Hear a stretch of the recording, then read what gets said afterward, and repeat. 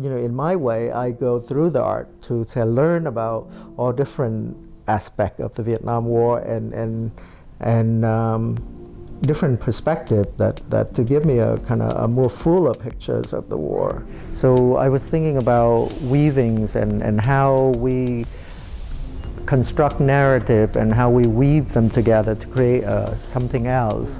And so uh, it was a very natural process to just like, oh, I can actually literally uh, cut up the photographs into strips and weave them together.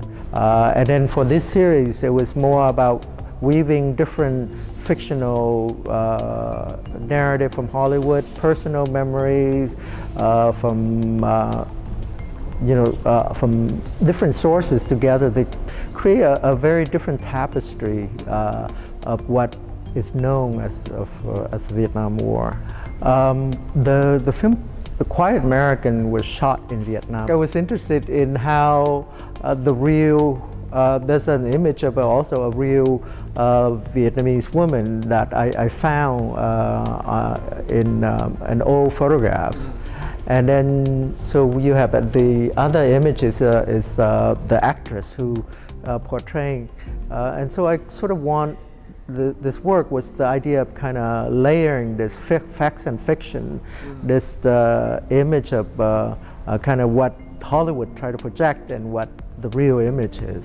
The source of this image is the uh, image of the uh, Thích Quảng Đức, the monk who immolated himself uh, in Vietnam during uh, the uh, Vietnam War in the, in the 60s. the, the series called the Scroll series.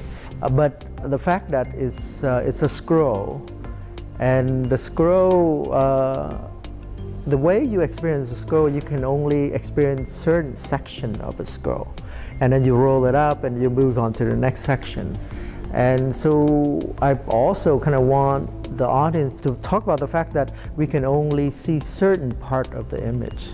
Uh, I think each image we think we know what it is, but the fact is the, the story behind it is so complex and some, sometimes we don't know uh, all the story behind to make a really uh, informed uh, judgment about the image.